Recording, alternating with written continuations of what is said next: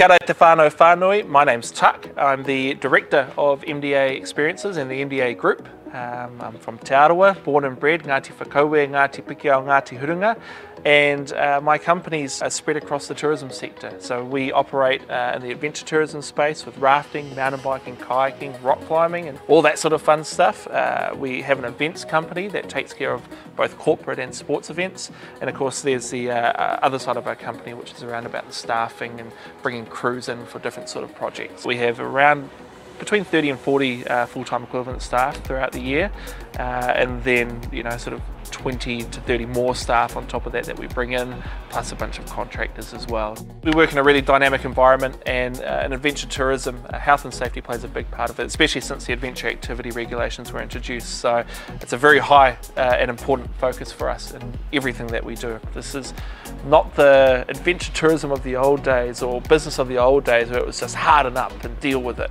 No, no, no. We, we actually got to be a lot more thoughtful than that because uh, there's a, an emotional side and a practical side as well. It's emotional side where we have to look after each other and make sure that everyone feels taken care of and feels safe.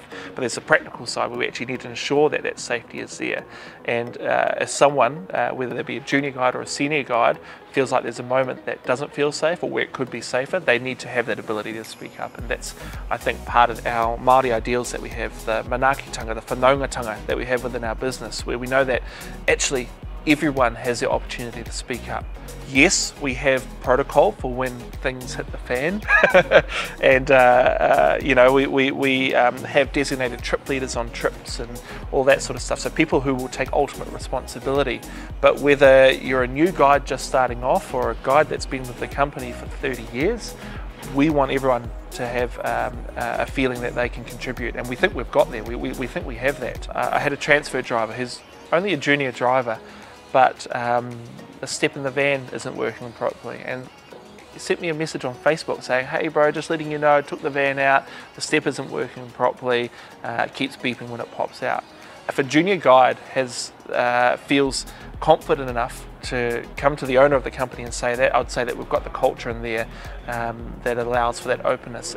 At the end of the day though, if we're running a tour and we don't believe someone can do that uh, activity safely, then we don't go. It's as simple as that. So if we get someone on a mountain bike and um, uh, they want to go off and ride grade 5 trails, but their skills are sitting at a grade 2 level, it's as simple as that. We won't go and ride grade 5 trails. Our guide will identify their skill set, look at how they're riding, make sure they've got the skills to be able to do it, and then go and ride what's appropriate for them. Our health and safety plan is a dynamic document. It's not set in stone. It's not a book that's bound and that's what it is.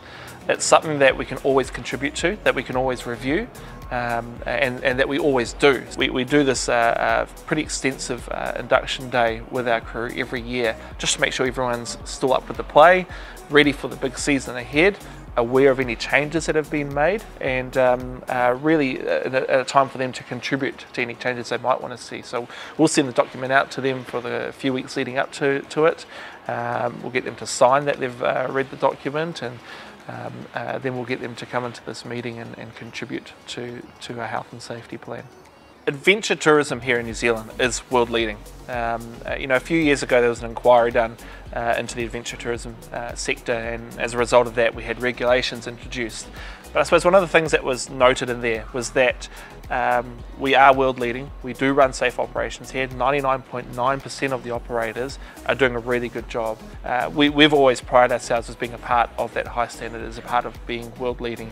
We already had um, uh, operation plans set in place before the regulations were introduced for mountain biking, and even today they still exceed um, uh, what is required as a minimum standard in those regulations. So uh, we're pretty proud of what we do uh, at MDA Experiences, and we know that that's actually a part of New Zealand adventure tourism culture.